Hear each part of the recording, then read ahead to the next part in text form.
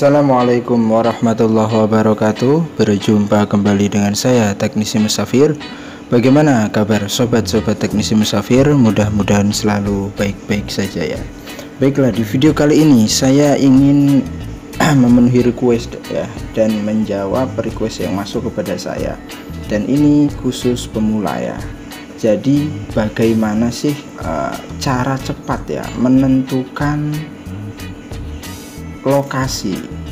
Mana itu IC eMMC mana itu IC power mana itu IC CPU nah di video sebelum ini materi untuk eMMC CPU IC power beserta pembahasan lainnya dan ciri-ciri serta kode-kode itu sudah saya bahas ya jadi silahkan cek channel ya teknisi musafir. Kurang lebihnya untuk thumbnailnya seperti ini.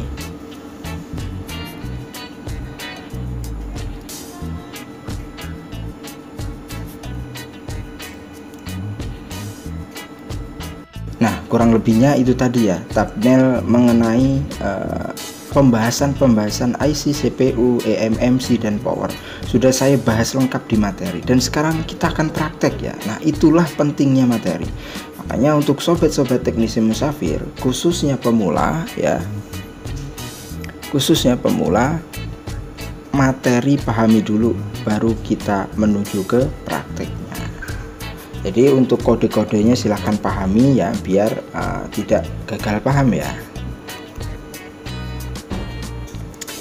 Nah, baiklah kita akan mencoba ya untuk uh, membahas mengenai apa itu IC power, CPU dan eMMC. Untuk menentukan letaknya ya ini ya. Jadi kan bingung ya. Contoh saya ambil contoh. Ini akan saya berikan beberapa PCB HP ya biar paham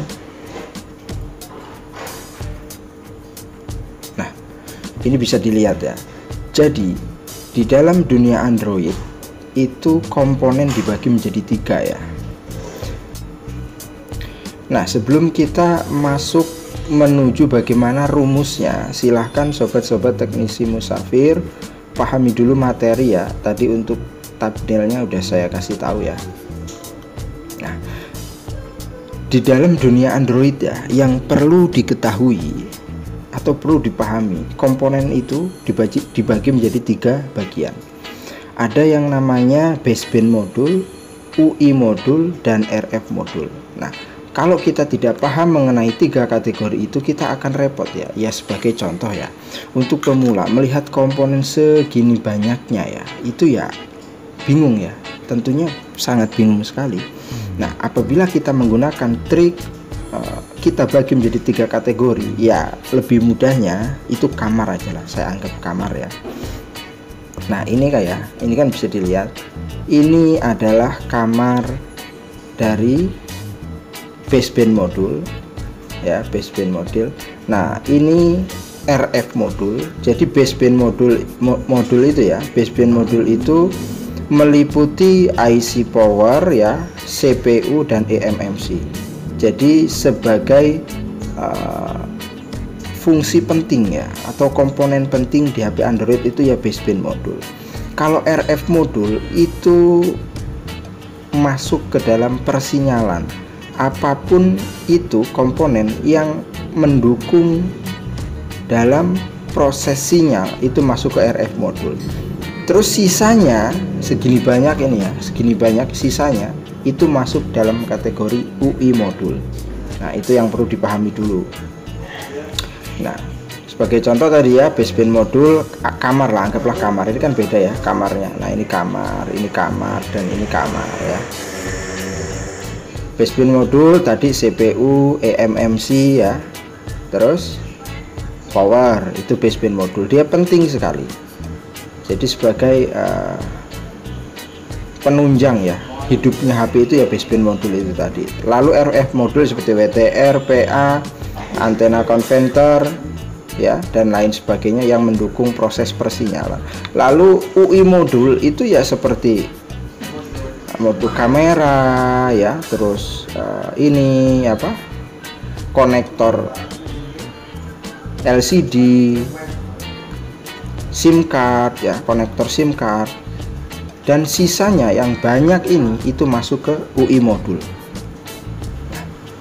Oke itu untuk pembahasannya.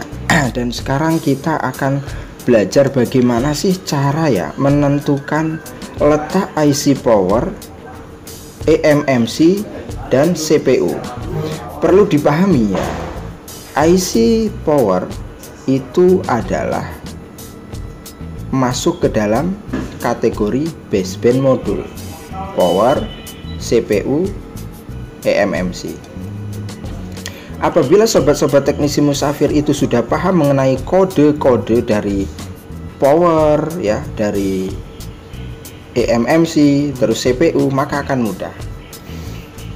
IC power itu biasanya selalu berdekatan dengan ketiga komponen ini baik CPU ya terus uh, eMMC dan power.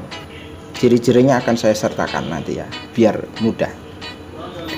CPU adalah chipset dari suatu HP Android tersebut seperti contoh Qualcomm ya MediaTek Spectrum ya Exynos. Nah itu adalah chipsetnya. Nah di sini kan tertulis jelas ya kata orang naik di sini kan tertulis jelas MediaTek. Nah sudah dipastikan CPU yang berada di PCB ini. Nah inilah. Ya.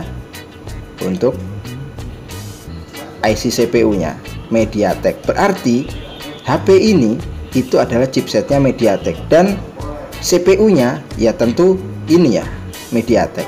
Nah lalu eMMC sebelum kita menentukan letak eMMC Sobat-sobat teknisi musafir harus hafalkan dulu untuk kode-kode EMMC atau merek brandnya ya. Nah ini kebetulan ada SK Hynix ya. Jadi ada Toshiba, SK Hynix, SanDisk ya, Samsung itu. Nah kebetulan di sini untuk EMMC-nya itu SK Hynix. Nah sudah dipastikan. Nah inilah IC flash atau EMMC-nya.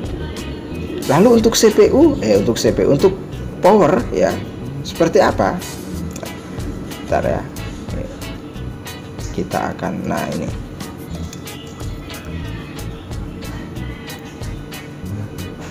Untuk power ya.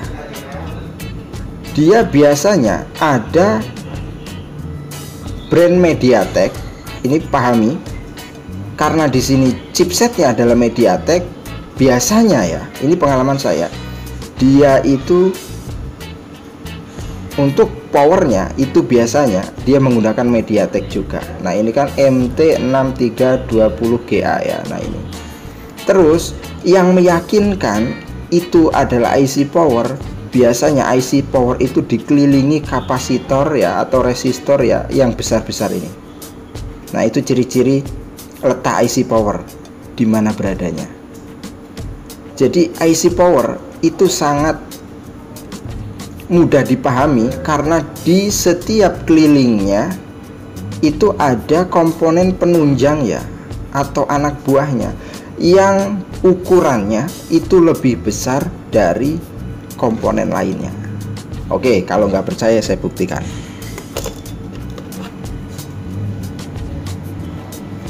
Ya, ini kan ada beberapa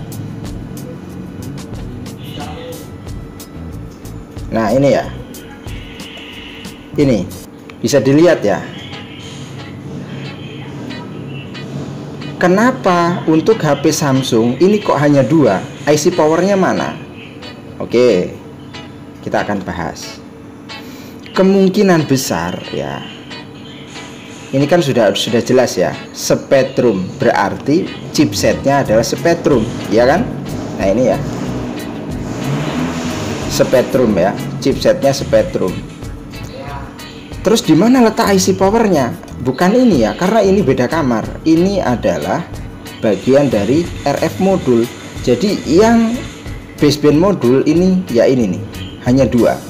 Lalu IC powernya di mana? Nah IC power itu kemungkinan besar ya jadi satu dengan CPU. Apa penguatnya? Kok jadi satu dengan CPU? Nah, inilah tandanya.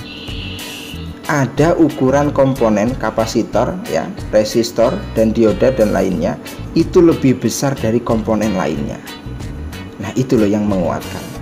Jadi ciri-ciri letak IC power itu dikelilingi komponen-komponen penunjang yang ukurannya itu lebih besar dari yang lainnya. Nah, ini kan bisa dilihat ya. Nah, ini besar-besar sak botol-botol. Iya enggak? Nah, sebelahnya ini sudah dipastikan EMMC. Itu loh ya. Paham ya? Oke, akan saya ganti lagi lah. Ben paham.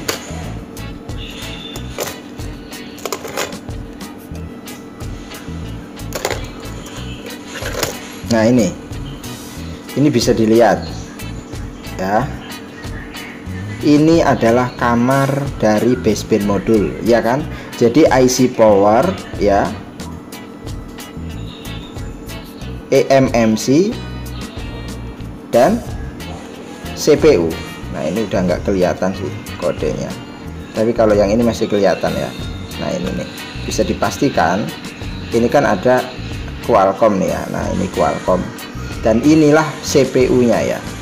Ini ada lambang Qualcomm ya MSM berapa itu? 89 berapa? Nah karena udah nggak kelihatan ya. Apa ini? Seraketo nah intinya ya intinya ini kan sudah sudah kita uh, dapatkan uh, ini ya ciri-cirinya Qualcomm. Oh berarti untuk chipsetnya ini Qualcomm dan sudah dipastikan inilah CPU-nya nah kalau kalau salah satunya udah ditemukan ya lalu sudah pasti sebelahnya ini adalah eMMC itu loh. Nah dan letak IC power itu sebelahnya. Nah ini. Ini saya copot ya.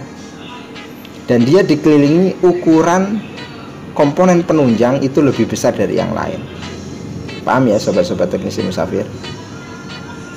Nah ini Jadi Qualcomm, nah ini CPU, ini eMMC nya Lalu ini powernya. Jadi ketiga komponen tersebut itu bersama tetapi tidak pernah bersatu. Meskipun beda pasti berdampingan. Itu loh kuncinya. Jadi mudah dipahami ya. Intinya ya Buat contoh ya. Nah seperti ini ya.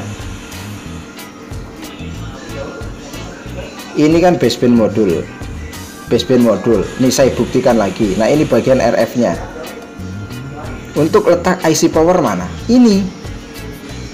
Meskipun kita nggak tahu kodenya nggak kelihatan toh ya. Kenapa? Ini loh. Penunjang komponen penunjang untuk IC power itu sudah kelihatan nih sak boto-boto. Ini sudah dipastikan IC powernya. Jadi mudah ya sobat-sobat teknisi musafir. Nah ini kan ada beberapa contoh ya PCB jadi mudah dipahami. Jadi untuk uh, metode otodidak itu ya menggunakan trik itu ya. Pahami dulu untuk brandnya untuk setiap brand dari IC CPU dan eMMC kalau power nanti bisa kita tembak dengan menggunakan rumus yaitu tadi. IC power itu selalu dikelilingi oleh komponen-komponen yang lebih besar ukurannya dari yang lainnya. Ya ini kalau kayak eMMC ya malah nggak ada ya. Ada cuman kecil-kecil ya. Nah ini bisa dilihat ya nih. CPU juga ada nah ini. Tapi kalau untuk power ya ini loh sabu atau botok. Nah inilah power ini eMMC kenapa eMMC nah inilah brandnya SK Hynix. Karena untuk brand EMMC itu ada Samsung, SK Hynix, Toshiba, SanDisk ya dan lain-lain. Nah, kenapa ini CPU? Nah, ini loh brandnya MediaTek. Chipsetnya loh. CPU itu kan chipset ya dari HP tersebut. Nah, itu ya. Jadi sangat mudah dipahami ya untuk uh, rumus uh, apa ya? Rumus ala otodidak lah.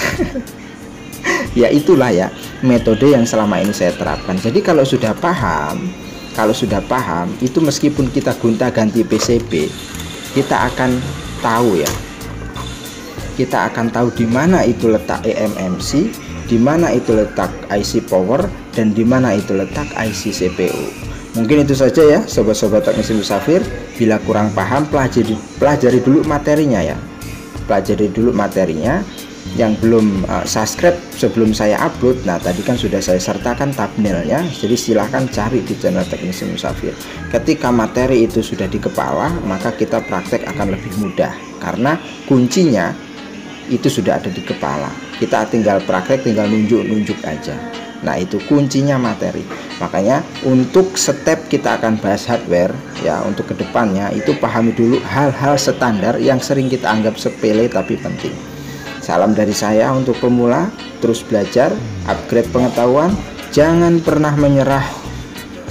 Insya Allah kita akan diberikan kepahaman. Sampai berjumpa lagi di video berikutnya. Assalamualaikum warahmatullahi wabarakatuh.